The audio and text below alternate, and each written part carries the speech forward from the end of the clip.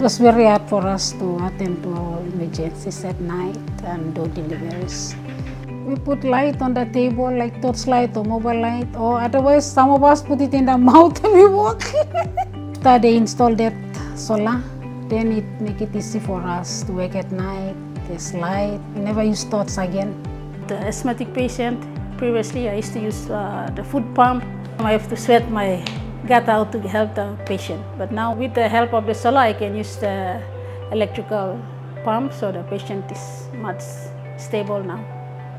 The solar panels help us to power the solar fridge where we store our vaccines and ice packs to do mother and child health. We sterilize the instruments to be used in labor ward and suturing. My colleagues, they're working in the other facilities where they do not have the solar power. They do not have the proper sterilization. Uh, they just use alcohol swabs to just swab the like cysts and then they will use it for delivery or suturing.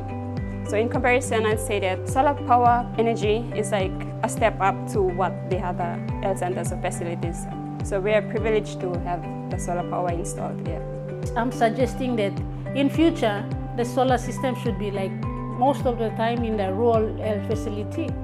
It will be really like attractive to the people. Once the solar is in place, all the things like uh, vaccine, medicine, uh, instruments, it will be okay. Also the houses will be, you know, powered up light. It will attract all the officers to go. Then all the patient will be served at the rural health facility.